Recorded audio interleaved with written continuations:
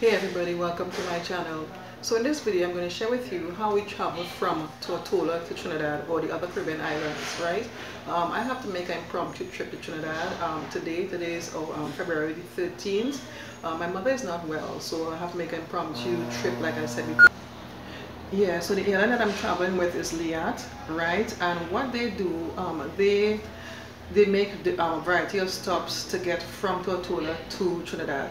Like for instance, my flight is um, we are I'm going to stop off in Saint Saint Kitts, um, Antigua, Barbados, Grenada, and then final stop is Trinidad.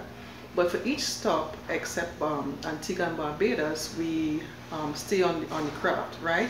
Um, we are in transit in Antigua and Barbados. Normally, when I do these trips, um, the in transit is normally only in Antigua.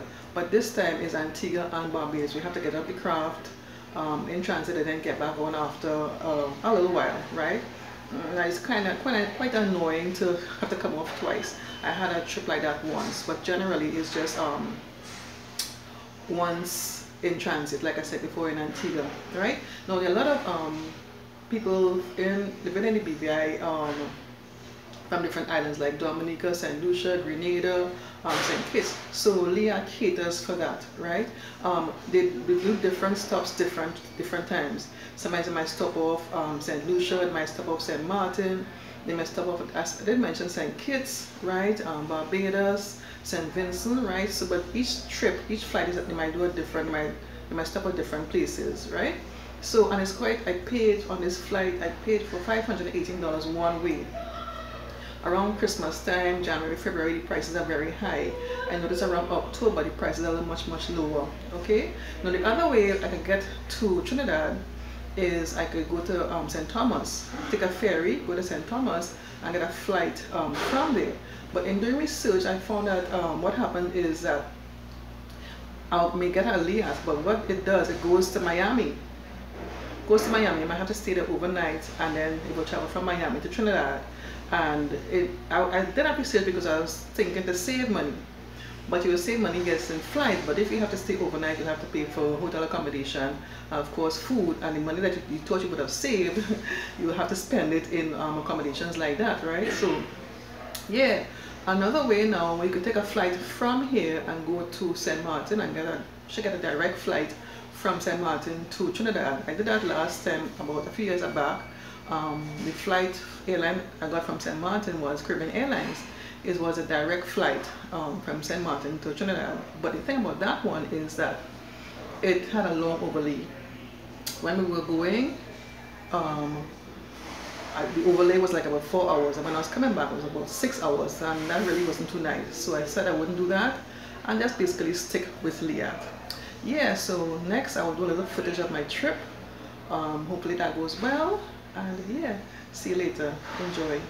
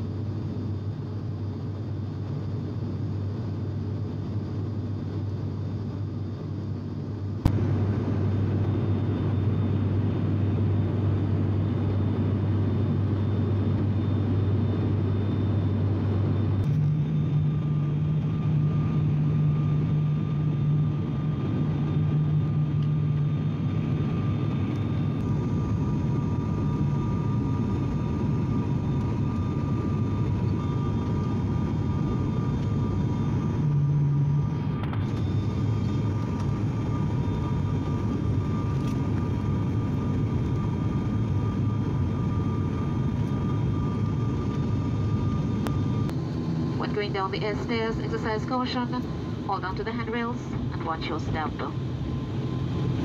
Thank you ladies and gentlemen for flying with us uh, this morning. We appreciate your loyalty and support and look forward to serving you in the near future. If you're returning home, welcome back. If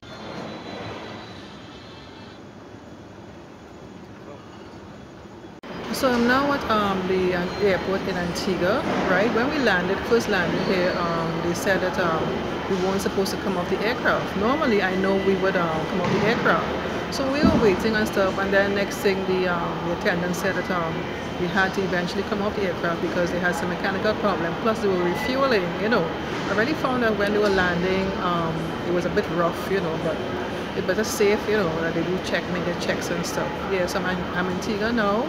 This is our second stop. Um, the first stop was in St. Kitts. Um, we didn't come off the aircraft, but in Antigua, normally, like I am accustomed to, um, we came off, we are off the aircraft. So I'm going to get something to eat and wait for my next flight.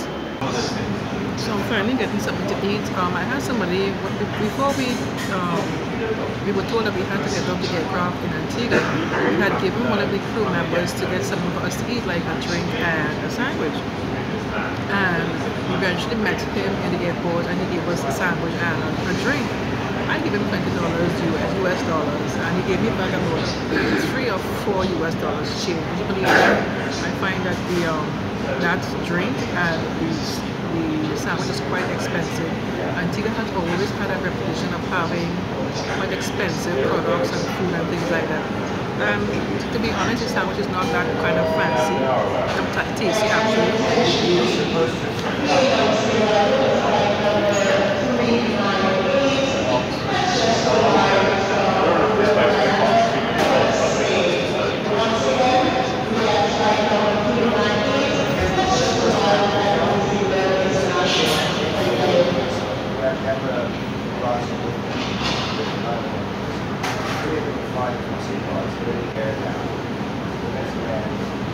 In addition, to that, um, the Wi-Fi here is not free. I think you get they say you get 15 minutes free, and after that you have to pay for it. And when we stopped up in St. Kitts, while I was in the plane, I was able to send I was able to hook up the Wi-Fi and send two files to my, um, send two files, you know, in the airplane. So that was quite, quite cool.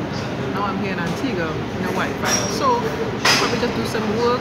The flight has been delayed. Um, I'll get later than expected apparently. So I'll just do something on my computer to make up some time.